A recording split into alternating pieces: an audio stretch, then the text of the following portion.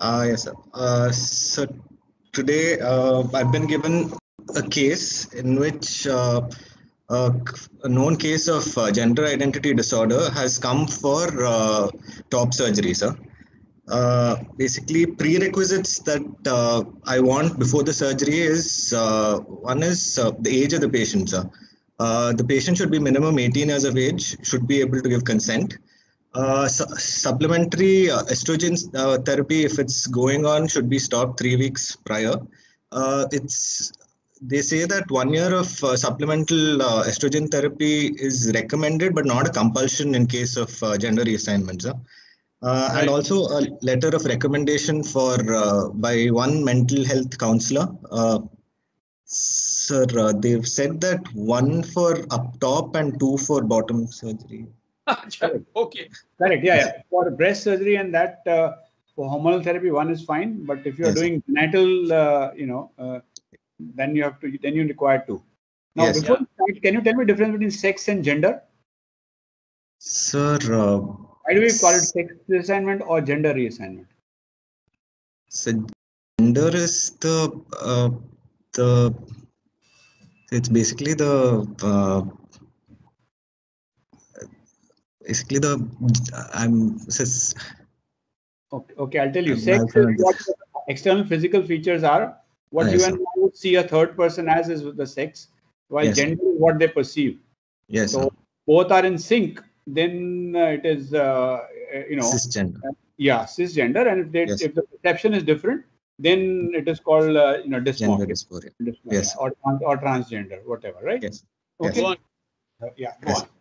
Uh, so after uh, the procedure that I would uh, prefer, uh, so before I go for the procedure itself, I would uh, there are certain things that I would like to discuss with the patient.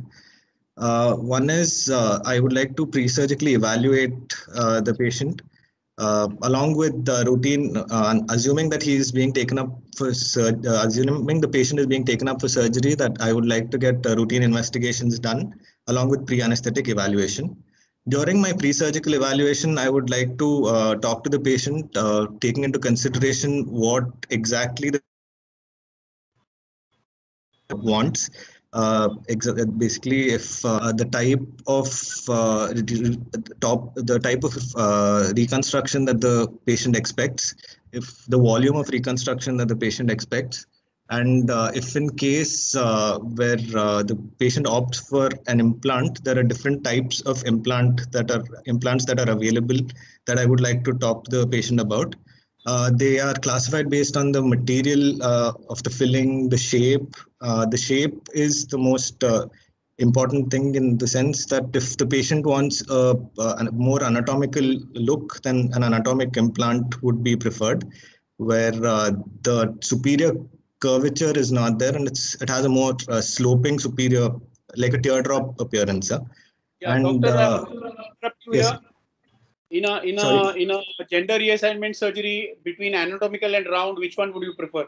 Sir, I would prefer uh, the round uh, in surgeries. Right. Yes, uh, sir, and also uh, based on the surface, there are two different types: uh, smooth and No, no, textured. Answer my question. Why would you prefer Yes, round, sir. not anatomic? So the plane in which I would uh, like to keep the uh, the implant would be subpectoral, most commonly, and uh, And implant No. subpectoral also if necessary. Why not? No, that's not the reason. Think of the anatomy. Think of the anatomy of a uh, a It's a- male it's a more- of gender. Yes, so they have a wider chest with more uh, distally, with more uh, far off nipple placement, and uh, because of that, an anatomic uh, implant would not be suitable. Absolutely right. Yeah, go on. Uh, yes, and uh, also the last thing uh, about the implant is the surface. If it's uh, smooth or textured, these are the different implants that are available. A smooth implant has more chance of capsule formation, and textured implants have a less chance. And uh, so after this, I would like to uh, What are the Plan- types of textured implants, doctor? So there is mac there are macro texture implants and micro textured implants. Uh, this is based on the diameter and the depth of the uh, textures. Are there So- any any other textures? The latest one. Everything is latest. Nano. You said ma- ma- yeah. Nanotexture, yes. Nanotexture implants. Okay. One more thing. You said you said saline and uh, silicone. Yes, In a, in a transgender patient, which one would you prefer? I would prefer a silicone uh, implant in a transgender patient, sir. Why? Uh, so basically, the uh, the consistency uh, and uh, the so No. in case. Um, What is the problem with a saline implant? Uh, general problem with a saline implant in, per se, complications wise. Commonest com- major complication. so in case there's a uh, rupture, there'll be Yeah, deflation.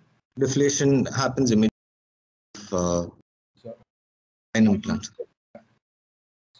So in males, it is very tight, right? Yes, sir. The- So there's a lot of pressure. So higher chance of deflation. Yes, sir.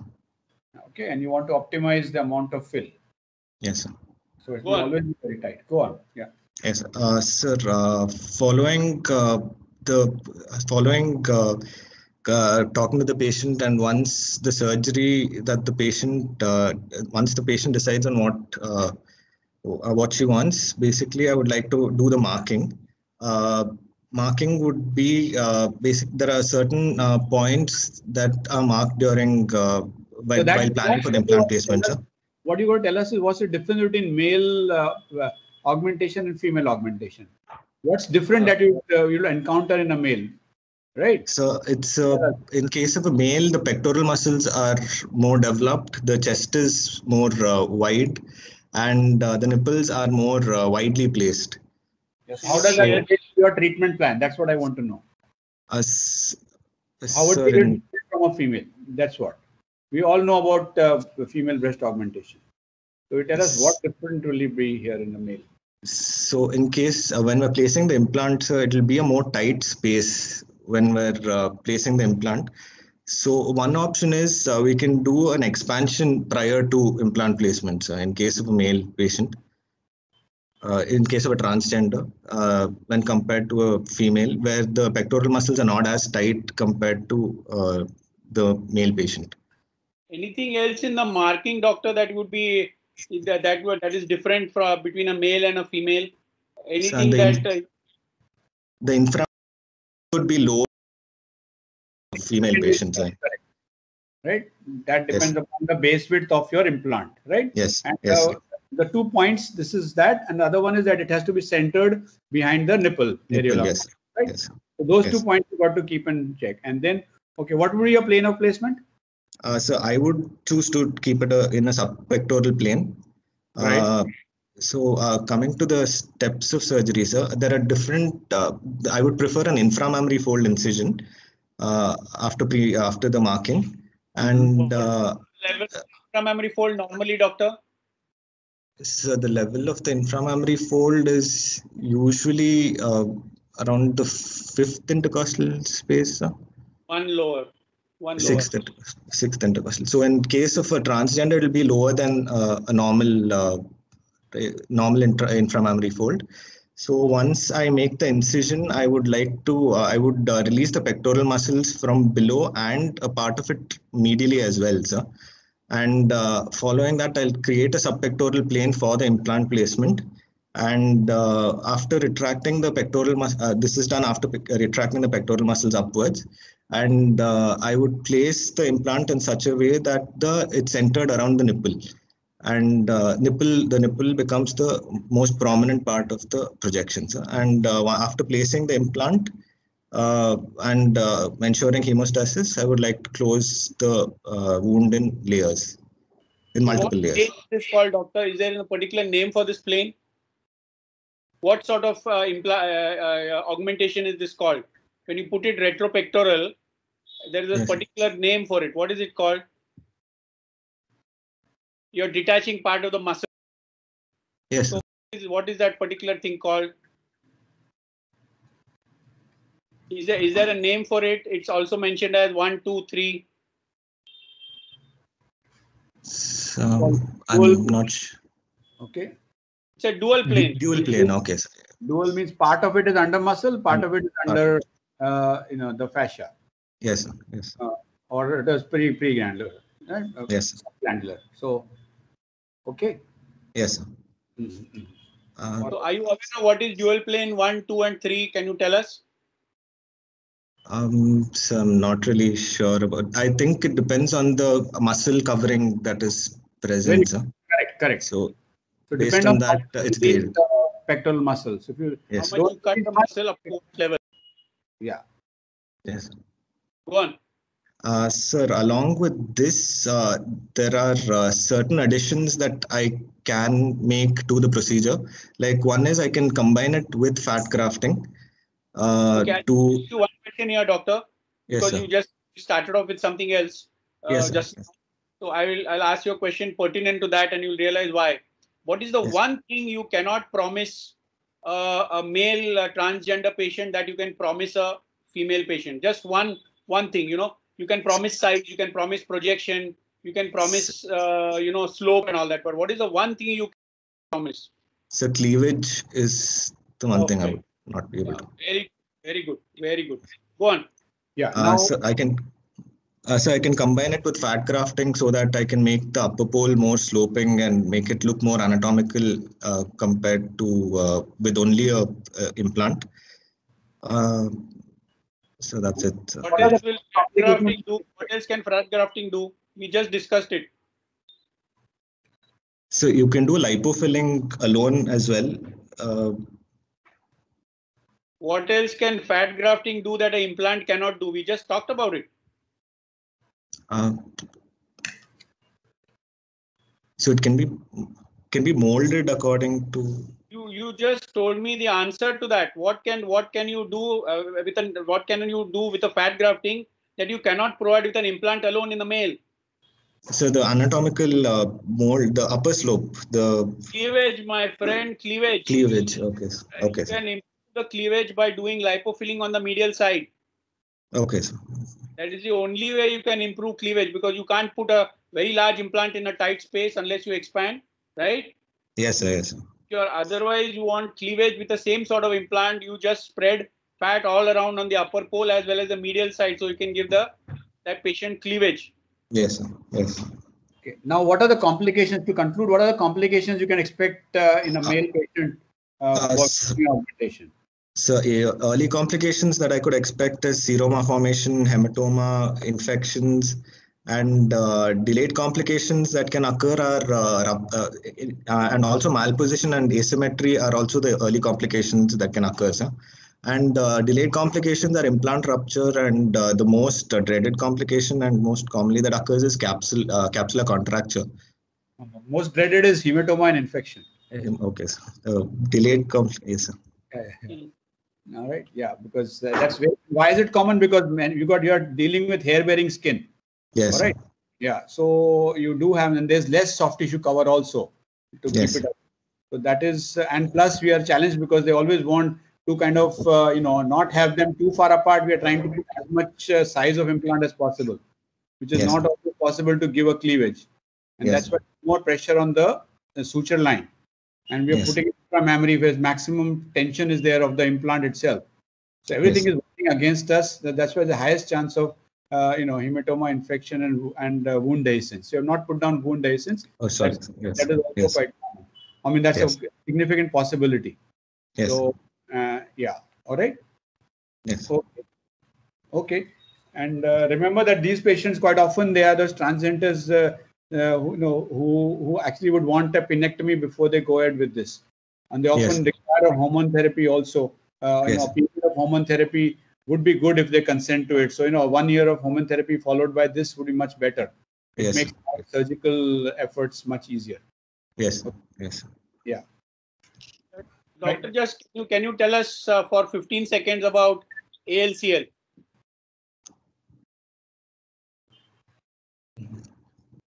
Are you there? Sir, uh, yes, sir. Uh, sir, is it uh, implant associated Yeah, yeah, uh, correct. lim- Yeah. uh, lymphoma?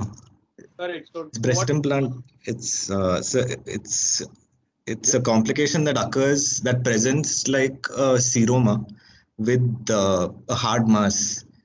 So basically, it's uh, lymphomas that occur as a complication, uh, prolonged uh, implants. Uh, So which which lymphoma is it? What is ALCL? And where is it situated? Is it I'm breast not. cancer? Sorry, sir. Is it breast cancer? Uh, no, sir. It's uh, basically the capsule that uh, Is it a breast cancer? gets. No, sir. It's basically the capsule that gets uh, affected. Correct. Correct.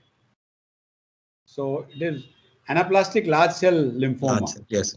Okay, so it's it's a lymphoma which is uh, yeah uh, probably excited by the presence of a foreign body or whatever, and it can also happen ar- around around other implants also in the body. You know, Yes. including uh, knee knee implants and others, right? Yes. Yes. So so there is uh, yeah, it's not only unique to breast. Yes. All right, yeah, and it Yes. is first present. What's the earliest sign? Not as a lump. Seroma. Seroma formation is. How do you diagnose that? So MRI would be the best option. No. Yeah, MRI will not diagnose it. It's uh, yeah, ser- serology. So basically, you'll have to do a tapping if there's a seroma around an implant which has been in for uh, you know almost a decade or so, or you know a fairly long time, and there's a Hmm. late late appearance of a seroma. That Yes. uh, should be aspirated and uh, a cytology done on it. Yes. That is the earliest way to detect it. Uh, Yes. Even before you see any MRI signs, the MRI signs would only show a seroma. That's all. They would not Yes. show any or anything. And Yes. then the uh, the later stages, they may they may be you know contracture and uh, you know thickening of the uh, the layers, uh, the capsule and what have you, and that's what. Uh, Yeah. uh, okay. Yes. Yes. Yeah.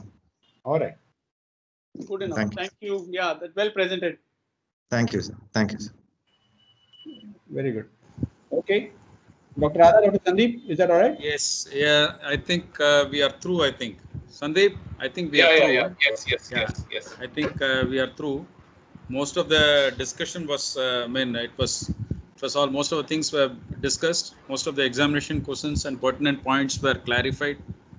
But uh, do you agree with us, sir? Uh, I mean, when you do a um, planning for uh, pre-op breast reconstruction, should you examine the other sites also for the possible use of tissues from the other sites also? Really depends on you know what is the size of the contralateral Yeah. breast. Yeah. If the contralateral breast is small, I am personally I I, I would uh, maybe try an SGAP or something like that rather than a DF. Yeah. Because our women, a uh, lot of our women are. Uh, I remember uh, fighting for uh, breast reconstructions when I was working in uh, in science, and then finding that there was nothing in the abdomen, and they're all small breasts. Probably want to do some other flap rather than uh, you know. Uh, uh, because you simply cannot get tissue from there. I personally, I personally prefer the latissimus dorsi flap, and uh, you can actually harvest around 100 or 150 ml of volume from around the, you know, take the fat, the subcutaneous fat, it's called the latissimus dorsi added fat flap, and put an implant under it if required. So for our women, a lot of you know, the non-obese women, that's a very good option to me. And uh, since watching Roger Khouri doing his, uh, uh, you know, the fat injections, that also sort of seems very viable because most women are averse to any major surgery. Uh, so this is something which we should actually be trying. I don't know. I don't get too many from that category. So uh, you know, the people in the institute should kind of actually look at having such a uh, you know go. The other thing is that you know the, the diagnosis of breast cancer has come to a stage where nobody really comes with uh, stage three cancers. Most of these institutes in the metropolises are doing breast conservation surgery. You know, Right. and MRM is very is, is I think I probably one out of ten cases undergoes an MRM. Most of the time it's breast conservation surgery, and you would, you will find that the in fact the uh, the the, the onco, onco surgeons themselves will put in a tissue expander or put in an implant and not even ask us to do anything. Exactly. And uh, Yes, So sir. medical When college the is totally Becker different. implant Right? was there, Hello. especially when the Becker implant was there, so that was kind of a uh, rule that almost always they used to actually put the Becker implant and then thought that everything would be over then. For example, in Tata, Tata, they've been after these people for a long time. Uh, Dr. Badwe, who was the director of Tata, would never ever allow them to do breast reconstruction because he did not believe that the cancer was gone, even after multiple cycles of radiotherapy. When he started, when they started getting cases, they used to have breast conservation surgery. So these people would just put in an expander. The moment a patient wanted to go for radiotherapy, they would deflate the expander and give the patient radiotherapy, and then re-expand. You know, and then just replace the expander with an implant. So out of every 20 cases, these people would get one case to operate. And primary reconstruction is almost, I mean, uh, I really salute an institution that allows primary reconstruction. Even, even today in India, if, if your oncosurgeons allow you to do primary breast reconstruction, you know, you are, you are so damn lucky, I tell you, so damn lucky. So no, no. Uh, the thing is, uh, if you don't have, if you have an onco surgeon under the general surgical department, probably you will get a lot of cases because from the general surgery it gets referred. So if you have a direct onco surgical department, probably you will get very less cases, as you say, sir. And um with the increase of diabetes in middle-aged women who come with breast cancer, is there still a role for uh, dorsi flap because which is going to be safe in uh, diabetic patients? What is your view on that, sir? Uh, personally, my preference. Uh, I, I mean, my background is of a microsurgeon, so my personally my preference is straight away uh, either a DF or an SGAP. Uh, in the uh, in in some cases, we've done latissimus dorsi, but I've never really been satisfied with the latissimus dorsi flap. Uh, it, it's it's I think the age for the lat dorsi flap and the indications for a lat dorsi flap are we are with all greatest of respect to everyone we are past that now. We are past that now. Uh, because it's so easy to do. It's so easy to do a, a you know harvest and do a DF flap. It is. Uh, I think the, the chances of survival of a DF flap are also as good as uh, anything else. So I don't know. I'm sorry. I, I, I mean I'm par- partial towards a DF flap. DF, DF flap is uh, definitely the gold standard, sir. But we should also keep in possibility about a TUG flap and other things. Some of the examiners they ask in the exam. Yeah, yeah, yeah. Okay, both, yeah, yeah. small breast, in fact, you know, gracilis and the TUG flap is, is is one of the safest flaps, especially because it's a vertical pedicle, or you can take it, uh, you know, slightly oblique on that. And gracilis can be harvested in practically 35, 40 minutes. Yes. So it's so simple. But of course, you need a, you know, you need a breast on the opposite side which is small. You can't because it hardly gives you any tissue. 200 grams of tissue मिल गया तो बहुत हो गया।